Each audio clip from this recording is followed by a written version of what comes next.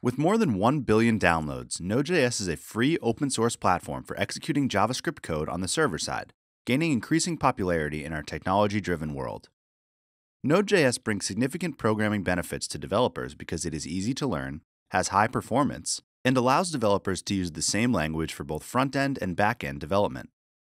Using Node.js, you can directly interface with InterSystems Iris Data Platform through the native API. Note that the native API for Node.js is cross platform, which means you can run Node.js code in Windows, Mac, and Linux Ubuntu. In this video, we will cover an example of the benefits of using the native API and explore some more examples of how it can be used in a Node.js application. The first major benefit of the native API is its ability to expose the underlying architecture of InterSystems Iris, known as globals. Globals provide applications with direct access, foregoing typical relational or object oriented access if those models don't give you the flexibility or performance you need. Globals are named, multidimensional arrays that are stored within physical InterSystems Iris databases.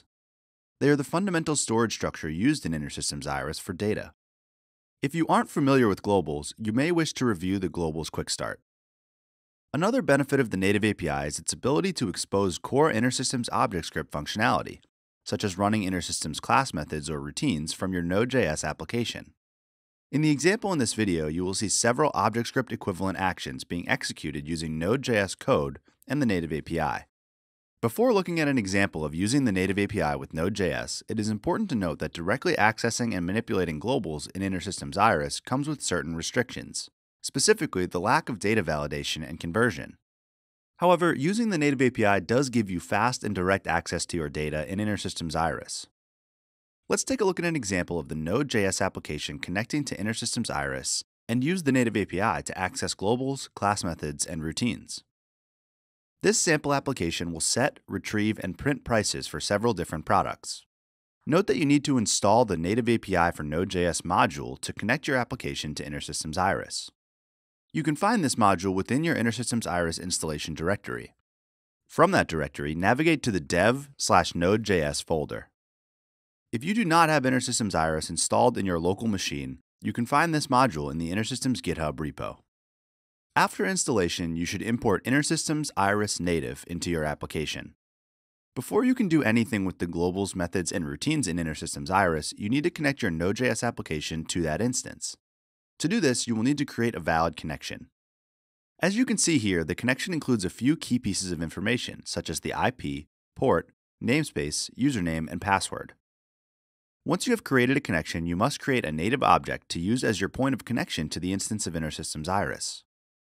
With your connection created and a native object ready to use, you can now access and manipulate globals in InterSystems Iris using the native API. In this code, you are setting three nodes of a product global with the current prices for a few different products. Then you are getting the price of one of those products and printing it out. Notice that this is done by calling set and get methods from the native object you just created. The equivalent code in ObjectScript for setting and getting the product global is shown here. Next, you can iterate over the product global. Using the native API, you can create an iterator to be used in a for loop. This allows you to get the value of each node in a global. In the equivalent ObjectScript code, the dollar $order function is used on the product global. Finally, you can use the native API to call InterSystems Iris class methods and routines. This Node.js code uses the %library.utility class to call the date method, returning the current date. Looking at the ObjectScript equivalent, you can see that the Node.js code is rather intuitive, with the arguments aligning to the method call in ObjectScript. By running this code, you can see that it successfully manipulates the product global as intended. If you are familiar with the structure of your InterSystems Iris globals, and you are looking to improve the performance of your Node.js application by directly accessing and manipulating those globals, the InterSystems Iris native API for Node.js unlocks the potential to do so.